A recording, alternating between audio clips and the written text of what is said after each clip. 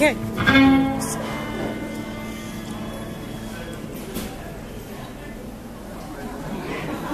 Boy walks around a lot.